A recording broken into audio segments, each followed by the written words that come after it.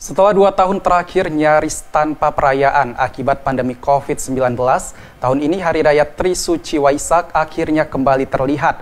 Sejumlah warga terlihat antusias mendatangi sejumlah vihara untuk melakukan serangkaian kegiatan ibadah. Seperti yang terlihat di Vihara Borobudur Medan kemarin, sejumlah warga terlihat begitu antusias menghadiri ibadah perayaan Waisak. Antusias warga begitu terlihat. Menyusul dalam dua tahun terakhir, Vihara Borobudur tidak menggelar perayaan Waisak secara terbuka akibat pandemi COVID-19. Untuk menghindari kerumunan, pihak Vihara menggelar ibadah secara bertahap dan bergantian. Salah satunya yakni saat prosesi pemandian Rupang Buddha, yang merupakan salah satu bagian dalam perayaan Trisuci Waisak sebagai simbol menyucikan diri.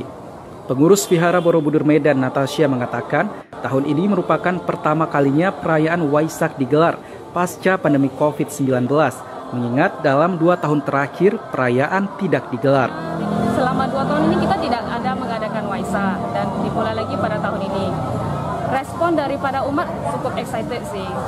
Dari kebaktian kita membatasi 20, 50 eh, orang, ternyata yang tidak daftar itu tetap datang walaupun dia terlambat tapi tetap memiliki keinginan untuk melakukan kebaktian pada hari Tri Suci Waisak ini. Namun dalam perayaan Waisak tahun ini, pihak Vihara melakukan pembatasan jumlah umat yang mendaftar. Roganda Malau, Kompas TV, Medan, Sumatera Utara.